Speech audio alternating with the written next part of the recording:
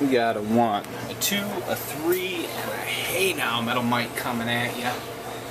I'm in the bunker. Have I gotten any work done today? Well, we did a little bit of poking around. I went to Menards. I got some filters for the furnace. Bought too much candy, that's for sure. And bought one more of those uh, Starmaster lights. You know, the ones that shine the lights on. That's the newest fad. I have one picked up for 29 bucks. I picked up another one. So right now I'm just just got a text from my son. He just got on a school bus, so he texts me. It takes 20 minutes for him to get home. So got about maybe 15, 18 minutes left. And what am I doing? Talking to you and going to eBay to see what's going on. Didn't get anything listed today. Uh, you know, I forged into those tubs with you and uh, found a couple of things I'm going to throw on. And uh, but I just didn't motivate to do it.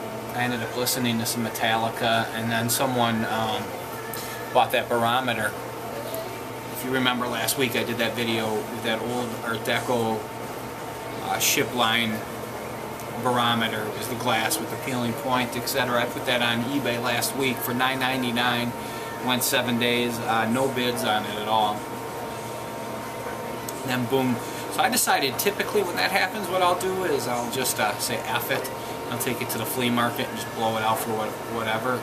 But this time I was like, shit, you know, so I already had boxed it up. It was ready to go. And uh, I thought, fuck, let's just do a buy it now, 25 bucks. It took two days. Someone scooped it up this morning and, and, and bought it. So um, that's what I ended up doing. I ran to the post office and I went to Menards. Got some work done on that level, I guess. And then right now, I'm just bumping around on eBay seeing if anybody's listed any new German helmets.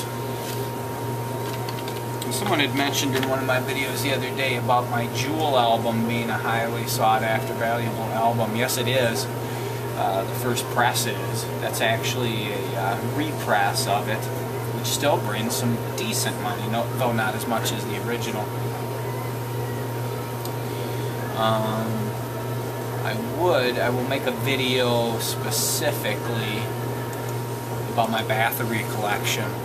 I think I would hope it's going to be on my list of new videos I want to do. I just picked up uh, the Return Combat issue, first press. Paid 140 for it. Um, still sealed in the shrink though. It's got a slight bent corner on it, but you know what? To find one, that one doesn't bring as much as the yellow goat. I've got the yellow goat, and I'm gonna sell that. I want 3,500. I was gonna just flip it for 25, but fuck it. I want 35, and I'll, if not, I'll just sit on it until I get it. So let's see here. World War One German helmets. Has anyone listed anything exciting? Sure doesn't look like it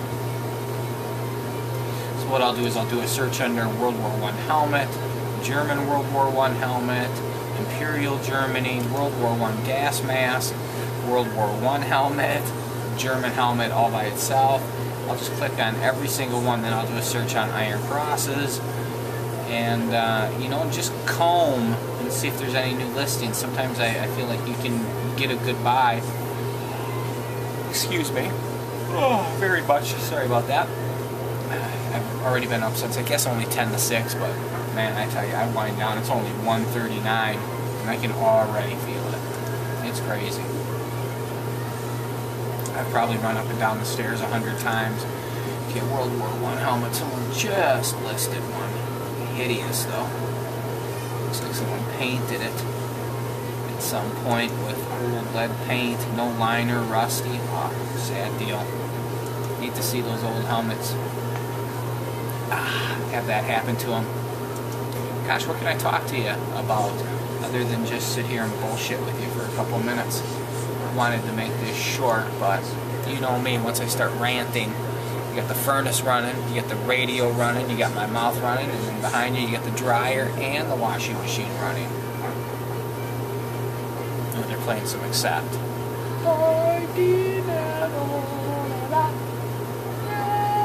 Whatever the hell they're saying.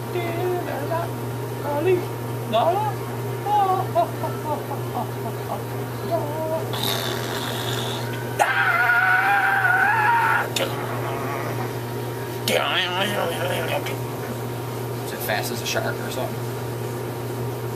Fucking love Accept. I mean, you talk about a band that really uh, brought in the crunch guitars. Of course, Metallica were the ones who mastered it, but um, Accept Restless and Wild. You talk about a crunch fest, that entire album. So I'm not seeing any new German helmets on here. So I suppose I'm talking more than I'm looking. I cannot do two things at once. I struggle. I struggle, I struggle. But I'm gonna try here. I've been watching this uh, Tupac album. I want that. Need some first press Tupac. Art Deco. Under, uh, if you're gonna go on eBay, there's a, a truck that ends in 22 hours. It's here's the title on it: Antique Art Deco Metal Craft Pure Oil Toy Truck for Restoration. Um, looks rather large. It's really cool. It's got a bullet shape to it. Love it. Let me see here. What are we looking at? No, you didn't want that. I'm boring you, aren't I? Yeah. I guess it's going to happen when you get reality like me. I like to have the pitiful content as much as the good content. So now I just pretend you're you're sitting at my house and your ride's not here yet and you're stuck and you have to listen to me. That's what's happening right now. So what I'm doing right now is I'm searching under German Iron Cross and I'll look for newly listed. I don't see anything. I'll tell you what, German Iron Crosses are really getting um, mass-produced reproduction ones. You've got to be careful. Remember, um, with a German Iron Cross, uh, you can palm it. If I can give you an example. I guess this lighter right here, palm it would be just place it right here in your hand and then, you know, give it some pressure. A real German Iron Cross will not bend. I'm not telling you to break the fucking thing. I mean, obviously you could do it, but um, it will not bend under that kind of direct pressure. Um, or you can just grab it like this, by its two wings, put your thumbs in the center, and give a slight one. Now, a real one, there's going to be resistance. A fake one is going to begin to bend. And remind and mind you, these are ones that are uh, magnetic and three-piece construction. And look, um, I mean, you wouldn't even doubt it. I think I've run across, I want to say three or four of them now, since I began to be aware of that test. So now that's always the main test. German cross, iron cross, anything listed? Nothing. See, every now and then on eBay, you can really get some great deals because you'll get a collector that maybe is, uh, you know, just cleaning his collection out. There, I really blew it a few months ago. Someone had a, a butcher bayonet saw sawback. Um, I think it was 150. It had a slight bend to the blade, but man, it was nice. And it was gone within a day. I mean, they go quick. I seen a gas mask on here yesterday, German World War One. Guy had uh, 325 on it. Buy it now, best offer. I sent him an email. I was like, "What's your rock bottom?" Said 270. Now, mind you, typically years back, the, uh, World War One German gas masks actually have dropped in value. Well, maybe not value, but in um, maybe they're not as desirable at this point for some reason.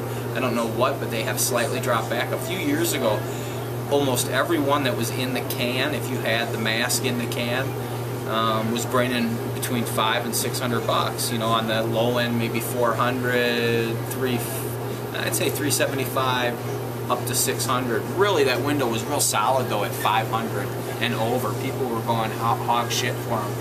And then a few years ago back, they, it just dropped. And the interest seemed to drop off. And I've seen them slip through the cracks for 200, 250. Well, the guy got back to me yesterday. He said for 270. But what scared me is it had a reproduction strap on it. And though I know the rest of it was original, you know, uh, you just, when you see one piece added to an original piece that's fake, then you begin to question maybe it's been pieced together, you know, and so that scares me. And what is pieced together, does it really matter? No, but I like an all original, barn fresh, attic fine, dusty, patinaed, worn. This one was a little too clean, but at 270, there was hell of a, a, a room there, like let's say you had a shop, could have bought. Now he offered it back to me at 270. I could have probably hit him. I was gonna hit him back with 225, but I just didn't do it. Someone else popped on it anyway, and bought it. But uh, you know, 250 would have been realistic, and then put it in your shop for 500. So there's all kinds of deals like that. You got to remember with the German stuff. Uh, a second, okay, a second class Iron Cross from World War II, which is highly, de highly desirable. Basically, the top value right now for one, unless it's unique, a, a or whatever the fuck, brings about 125, 135 with the ribbon.